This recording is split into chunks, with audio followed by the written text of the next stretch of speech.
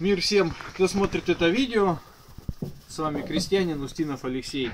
Сегодня мы расскажем э, о козах. Поделимся небольшим опытом. Я расскажу. Вот у меня две козы. Значит, э, как я им кормушки сделал. Кормушки э, делал, ну, сам подумал, что это будет хорошо. Из складочной сетки.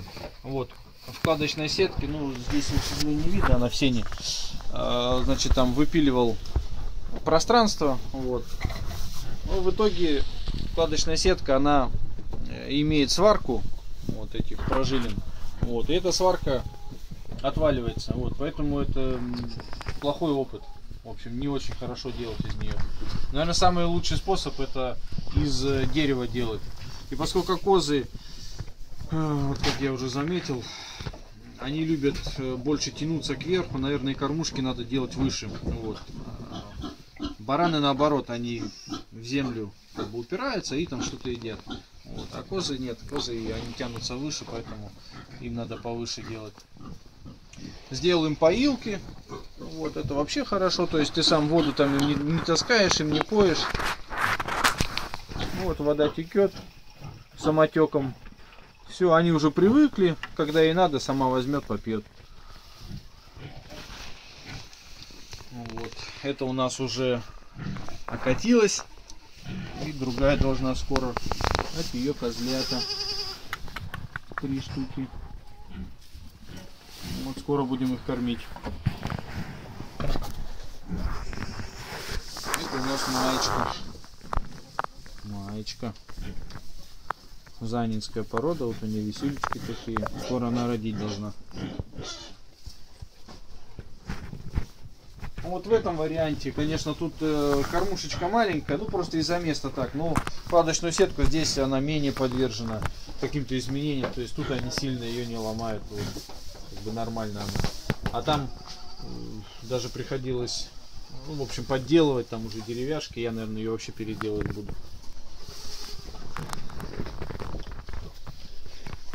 Вот, а тут, э, тут поросята, ну это так заодно. Тебе тут показывать нечего, ну обшивка деревянная, кормушка, здесь бетон, то есть как э, где они оправляются. Вот. И все. На, на окошке сделал подоконник побольше. Ну, думал, чтобы если вдруг она вставать будет. Ну, слава богу, она не стоит ничего. Это вот у меня крючок один. Это, кстати, был э, маленький, в общем, 14-й поросенок. Нам его отдали, очень маленького.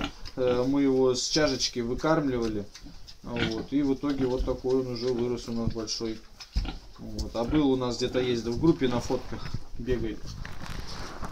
Вот. И тут у нас еще козочки. Тут у нас, э, я потом покажу э, небольшое видео, как я козу даю. Вот. вот этот станок доильный, я первый раз увидел его у Джастаса. Это вот в интернете есть такой веселый молочник. Вот. Ну там у него своеобразный, вот, и я примерно сам взял, соорудил вот что-то, принцип тоже сюда шея, то есть закрыл ее, тут кормушка насыпал, очень хорошо. Сидишь, доешь, то есть коза стоит спокойно. Вот можно посмотреть, как я сделал уже, это у нас молодые козлушки, ребятишки э, тех коз, вот, уже годовалые. Вот, просто из дерева. Вот самое то. То есть простые прожилины, там какие-то в это, ну, иногда, конечно, они тут ссорят. Ну, постарался сделать так, чтобы меньше царили, там, подбирая.